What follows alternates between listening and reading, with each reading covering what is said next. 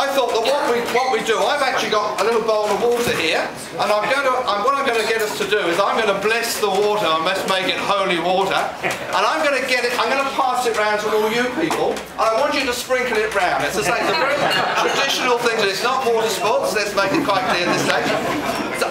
So we're going to sprinkle it round, and, and that just takes that sort of holy water and just makes the place holy. So we bless it. I mean, you know, we can ask we'll say, we'll ask God in a minute, we'll do a little God thing, but, but we, we are the ones that do the blessing. We do it because of our energy and our life and all that we do here.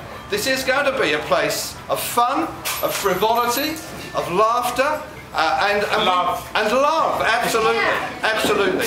And that's what we want it to be. And we make it that. That's we do that. And these two guys, I have to take my hat off to these two. That they've done a fantastic job.